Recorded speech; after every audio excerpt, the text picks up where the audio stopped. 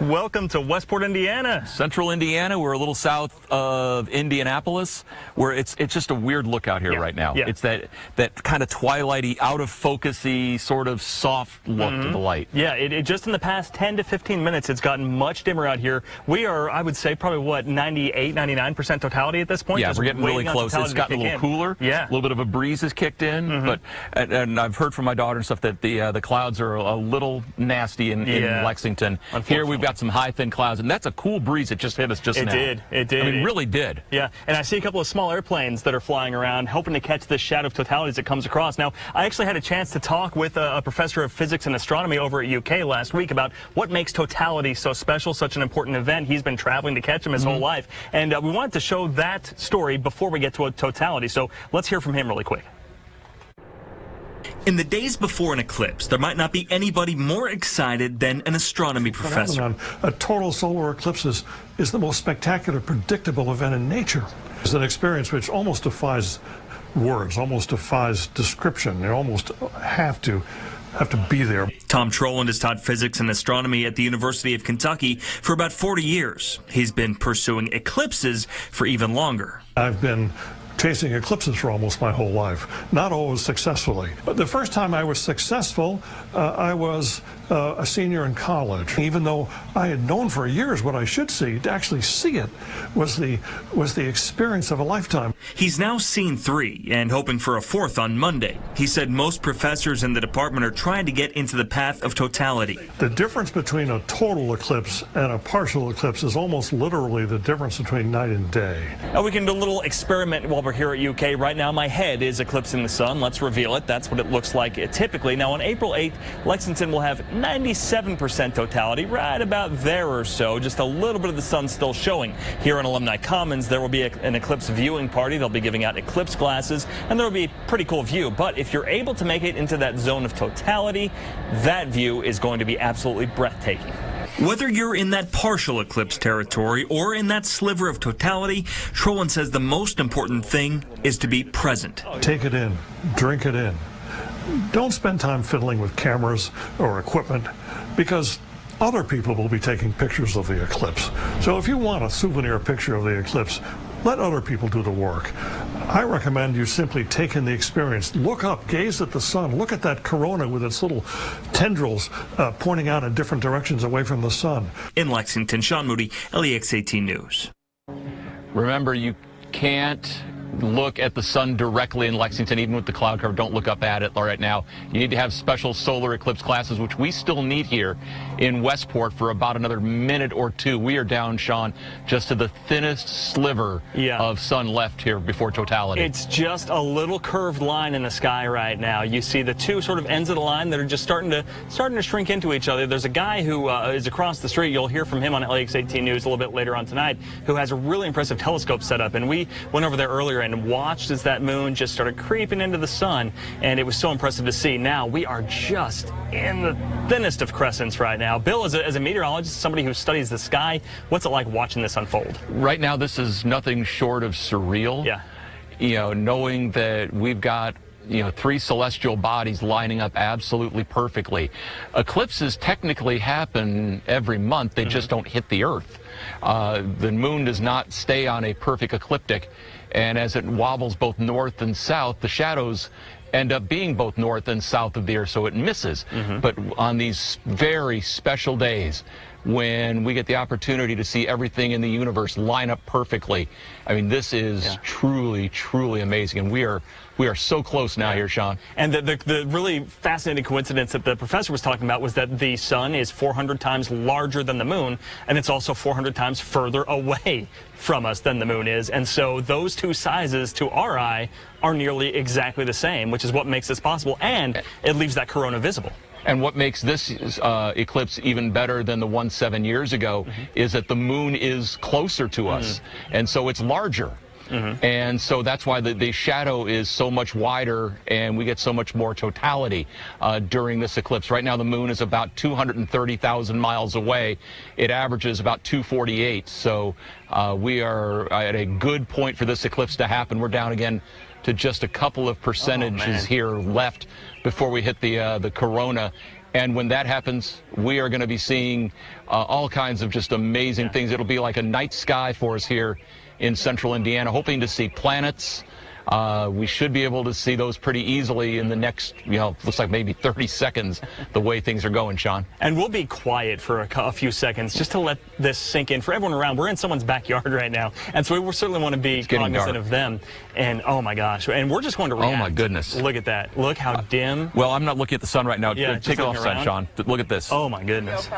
It's so dim right now. Delana, our producer, just said 305.30, which means we're getting right into totality in just a few more seconds. 306 is when it's supposed to hit here. I can hear several light airplanes overhead. The view they're getting right now just must be fascinating. If if we take our glasses off and just look around, not at the sun, it's amazing It is how the dark weirdest it is light. right now. It's so unusual. It's so odd. Instagram has no filter for Yeah. this.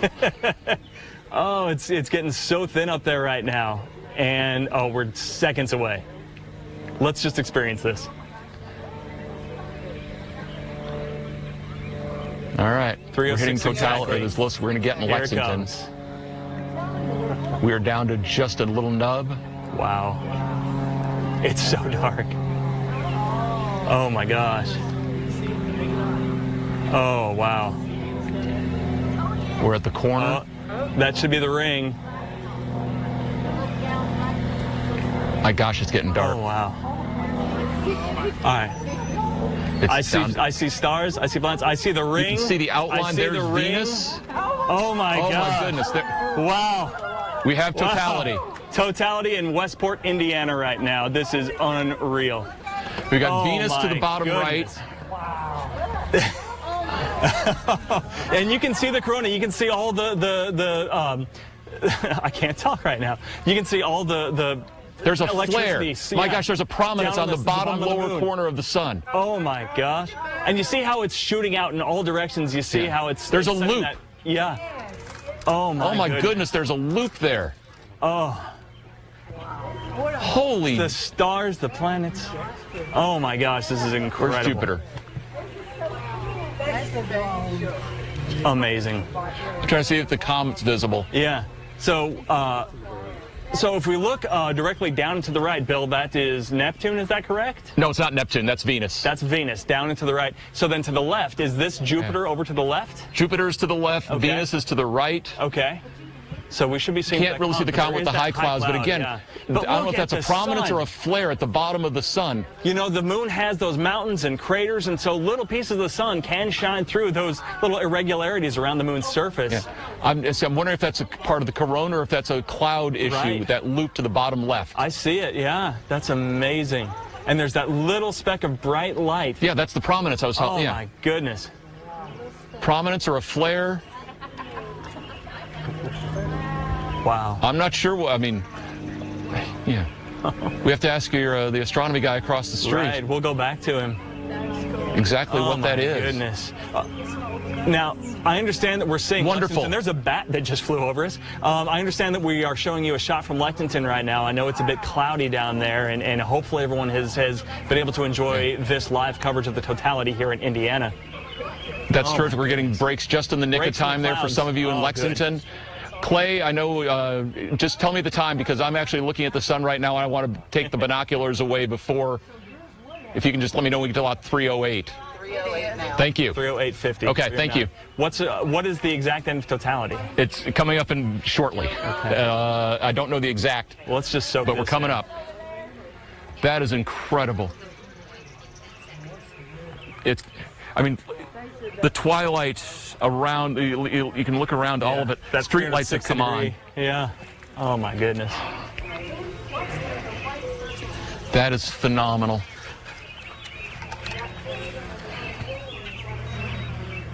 Yeah, I'm, I, I'm curious if that's a solar prominence, that loop to the bottom left.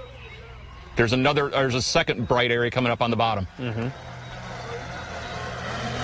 I hope that you guys at home are able to enjoy this to a degree. But again, if, if you're in the totality area, it's amazing.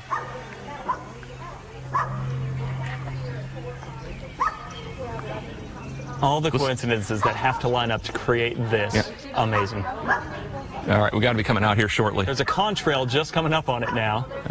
Uh, yep, I can. There's the sun. It's getting brighter. Yep, Here there it we comes. go. Glasses on. Here it comes. There's the ring. There it is. wow, they did the math right. Wow. All right. All right. Wow. Amazing. That's the end of totality here in Westport, Indiana.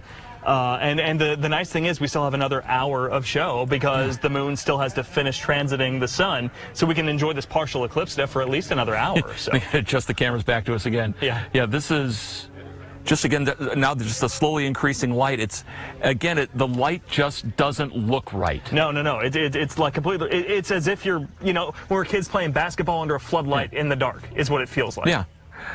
I'm wondering if we're getting all the uh, the colors of the spectrum since Yeah. we're not getting the full disk of the sun like that. Yeah. The colors do look odd. Absolutely. It, it looks blue. It looks much bluer than it typically would be. Yeah. Um, such. Such There's the bottom amazing sliver now. Going. Wow. Hey, Andrew, you wanted to say hey to some folks in Morrill? Yeah. Now, we, to, to preface this real quick, uh, the folks who invited us in their backyard and have been just absolutely wonderful hosts, um, they have family down in central Kentucky. So you have to kind of lean in here, Andrew. Yeah. Uh, but say hey to the folks you wanted to say hey to. Yeah, uh, to my first cousin Roger Van Winkle and his wife Lisa, and to uh, Yeah, this is a small price to pay for, Yeah. for what you've been able to Yeah, provide us here today. tell Thank you. It's amazing, and I, I wish everybody could have been here to watch it. They're down there in Morrill, right? In Morrill. All right. Yeah, and it's been amazing. You know, we, we, we wanted to, to make sure that we weren't talking about these things before the totality started because we wanted to get through to it. But now that we're out of totality, let's just talk about what an incredible uh, experience this afternoon has been. This family has had us in their backyard. We've had a cookout. We've had Keeneland bread pudding. Which- We've had everything you need for an eclipse party. Yeah. And this may have been the best eclipse party around. I, I think it was. And you've got the astronomer across the street. Mm-hmm. I mean, we come to a small town in central Indiana where is some of our folks say Hoosier hospitality. But again, just the stories that we're finding here. Mm-hmm. Yeah. Um, you know, f- the Berea connections, Mm-hmm. central of Kentucky. Uh, the, the astronomer just across the street who's an award-winning Yeah. teacher. Um, so again, just wonderful folks here in uh, Westport, Indiana. Mm-hmm. I'm glad you all have been able to share this with us today because, again, as I said before, the, the experience, it's surreal. Yeah, it is. And to see, I'm, and I'm guessing those were prominences on the bottom, those bright orange. Uh, you know, just incredible. And again, I'm, don't know if it was an atmospheric phenomenon with our cirrus clouds Right. Here, or if that was something with the corona, that loop that was at about a seven o'clock position. Right, right. Yeah, it was it was amazing, it, and it was such a such a uh, uh, you know tiny little spot at the bottom of the moon. Yeah. That just bright, bright orange, so Yeah. much brighter than everything else around. And there was a second corona. one just before, Yeah, yeah. just before the totality left. And and that that that ring, you know, you, you hear people talk about the ring just before and just after as the sun just starts to peek out, and you see the the corona of the outline, and then just as that flash comes on the end, of course, that's your signal. Glasses back on. And I, I, must admit, I cheated slightly. Yeah, yeah. Um, with the with the timing, and just before totality, yeah, I, I did look up without the glasses. Yeah. and you could see the outline of the moon amazing. just before it, it encroached all the Yeah. way. And uh, and I tell you what, you know, we we've we've talked about the different lights, and I'm starting to feel a breeze again Yeah. right now too. And we'll warm it right back Yeah. up. And, and talk about, Bill, you know, the, the, we've got variations in temperature on the Earth's surface, right, which change relative to the sun. So as that sunlight is changing so quickly, that's where that breeze comes from, right? Yeah, you, you're changing the pressure and changing mm-hmm. the temperature, but what you've also done is you basically are you've created a mini front mm-hmm. that's been working its way across. It's it's a dusk front, for Yeah. lack of a better way to put it. And for the same reason, you feel a little breeze come up sometimes in the evening. Mm-hmm. Same thing was just happening here for us. Yeah, yeah, it's it's incredible. And then because that shadow is circular all around us, that means that you know when you see an amazing sunrise or an amazing sunset, we have that in 360 degrees. It's we, the coolest thing. We had a drone up here. Mm-hmm. Yeah, we had a drone up here earlier uh, during the totality. It's going to be interesting to see if they're going to be able to see the, the outline Right. of the shadow as it was coming in. So we weren't ro- broadcasting it live, but uh, we're going to take a look at the, uh, the, the recording on it yeah, to see we'll- what it we'll- looks like. We'll bring that to you throughout the day. And that shadow, I mean, you think about how quickly that shadow is moving across the surface of the Earth. I think it's something like 1,700 miles per hour as you're waiting for it. So if you get up high enough, you know, you can see it coming from far enough away. It'd be like a wave coming at you. Yeah. And now that that shadow is somewhere in New York, Right. So it, it- moves so fast. it got out of here in a hurry. Mm-hmm. It's been an amazing afternoon out here. yeah. Yeah. and the the spectacle is one that we won't see again for another few decades. And we're glad, so glad, you were able to. Uh, to enjoy it with us, mm-hmm. to experience it with us. You know, this is both of our 2nd go round. Yeah, yeah, it's it's such an amazing thing, and I, I can't imagine. I could see this 20 times, and it would be just as jaw dropping every time. And the next go-around, I think, is a partial lunar eclipse that uh, won't be quite as dramatic. Yeah, we, we're getting a little bit spoiled here in Kentucky. We've had the Western Kentucky one uh, just seven years ago, now this one, so we, we can't complain. Okay, we're going to have complete reports obviously coming up. I don't know if NBC still has coverage ongoing or not, but we will have reports coming up at 4 o'clock, 5 o'clock, 5.30, 6, and 7 uh, as we wrap up history from uh, central Indiana here. For Sean Moody, I'm Bill Meck. Thank you so much for enjoying this total eclipse of the sun with us, with apologies to Bonnie Tyler on that. And again, have a wonderful rest of your day.